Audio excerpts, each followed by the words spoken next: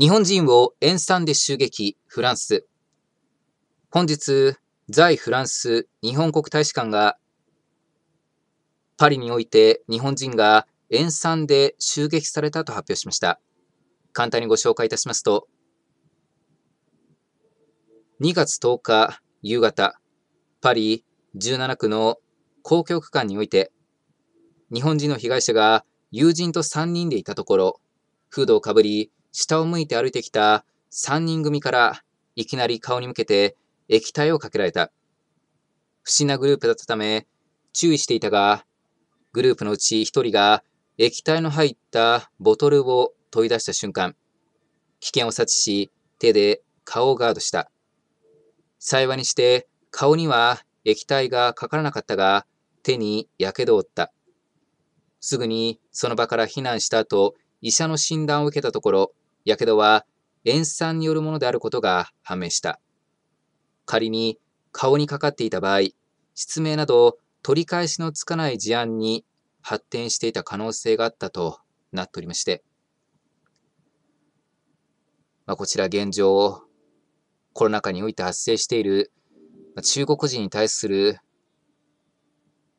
憎犯罪において、日本人が標的になってしまったようでございますが、ま、海外の方、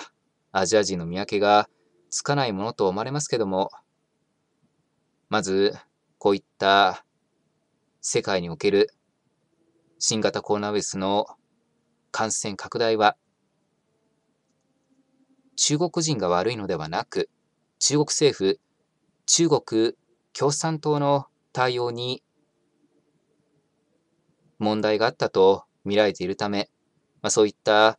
中国政府などに対して批判を行うことは自由だと思いますが、